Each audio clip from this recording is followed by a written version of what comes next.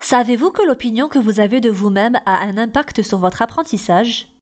Savez-vous que l'opinion que votre professeur a de vous a également un impact sur votre apprentissage? Étonnant, n'est-ce pas? Dans cette vidéo, je parlerai des facteurs qui ont une influence sur la progression d'un apprenant. C'est ce que j'appelle l'écosystème autour de l'apprentissage. Assalamu alaikum wa rahmatullahi wa barakatuh. Bienvenue sur la chaîne Maîtriser l'arabe, une chaîne dont l'objectif est de vous aider à apprendre l'arabe avec plaisir.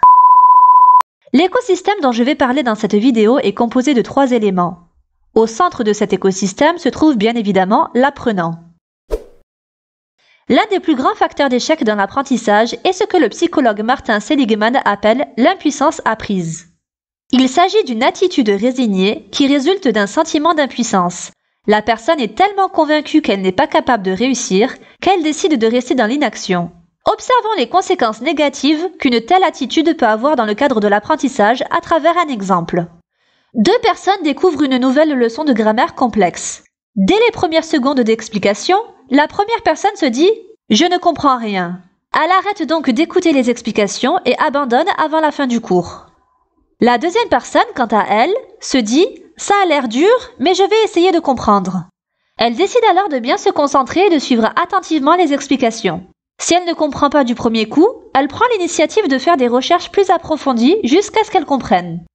Ces deux comportements aboutissent à deux résultats différents. La personne qui était convaincue qu'elle n'allait pas comprendre n'a fourni aucun effort, résultat, elle n'a effectivement pas compris. A contrario, la personne qui pensait qu'elle pouvait arriver à comprendre a fait un effort, résultat, elle a effectivement compris. En d'autres termes, la conviction d'impuissance bloque l'apprentissage. Vous devez donc avoir une bonne opinion de vous-même et ne pas sous-estimer vos capacités. Le deuxième élément de l'écosystème est le professeur. Nous allons voir dans cette partie que même l'opinion et le comportement du professeur à l'égard de ses élèves a un impact sur les résultats de ces derniers.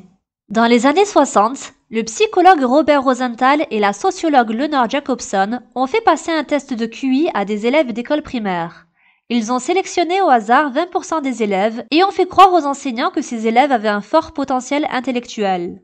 À la fin de l'année scolaire, ils ont refait passer le test de QI à l'ensemble des élèves. Les 20% d'élèves supposés être plus intelligents avaient considérablement augmenté leur performance au test. En effet, les attentes positives des enseignants avaient influencé leur comportement envers ces élèves. Ils les traitèrent inconsciemment avec plus de bienveillance, ce qui conduisit à une amélioration de leur performance. Ce phénomène, que l'on appelle l'effet Pygmalion, montre comment les attentes positives des professeurs envers leurs élèves peuvent avoir un impact positif sur les performances de ces derniers. Inversement, les attentes pessimistes et les préjugés des professeurs envers leurs élèves peuvent avoir un impact négatif sur les performances de ces derniers. C'est ce que l'on appelle l'effet golem. Vous savez maintenant que la bienveillance est une qualité importante que votre professeur doit avoir pour vous aider à progresser. Le troisième élément de l'écosystème est la méthode.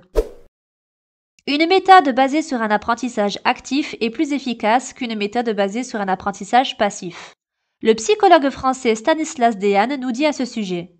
Une revue récente de plus de 200 études pédagogiques le confirme. Le cours magistral, où l'élève reste passif tandis que l'enseignant pérore pendant 50 minutes, a fait son temps. Lorsqu'on compare ce cours magistral traditionnel aux pédagogies qui promeuvent l'engagement actif, l'effet est manifeste. Dans toutes les disciplines, des maths à la psychologie en passant par la biologie ou l'informatique, un étudiant actif réussit mieux. Stanislas Dehaene dit également Apprendre efficacement, c'est refuser la passivité.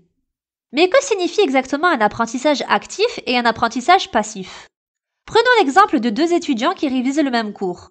L'un se contente de relire le cours, il est donc dans une démarche passive. L'autre réalise des autotests, par exemple en utilisant des flashcards. Lorsqu'il lit la question sur le recto de la carte, il fait l'effort de réfléchir et d'aller récupérer l'information en mémoire pour trouver la réponse. Il est donc dans une démarche active. Voyons ce que disent les experts sur l'efficacité de ces deux manières de réviser. Concernant la relecture de cours, le psychologue américain John Danlowski dit En se basant sur les preuves scientifiques disponibles, nous évaluons la relecture comme ayant une faible utilité. Concernant le fait de s'auto-tester pour faire un effort cognitif lors de la révision, le psychologue américain Henry Rodiger nous dit Rendre les conditions d'apprentissage plus difficiles, ce qui oblige les étudiants à un surcroît d'engagement et d'efforts cognitifs, conduit souvent à une meilleure rétention. Malheureusement, l'être humain aime rester dans le confort de ses habitudes.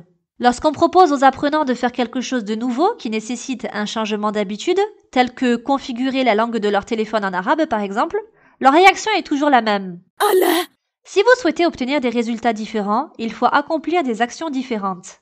Si vous continuez d'apprendre toujours de la même façon, les résultats seront toujours les mêmes. Comme l'a dit Albert Einstein, la folie, c'est d'accomplir toujours la même chose en espérant obtenir un résultat différent. Nous arrivons à la fin de cette vidéo, j'espère qu'elle vous a été utile. N'hésitez pas à me dire dans les commentaires quel sujet vous aimeriez que j'aborde dans la prochaine vidéo. Assalamu alaikum wa rahmatullahi wa barakatuh.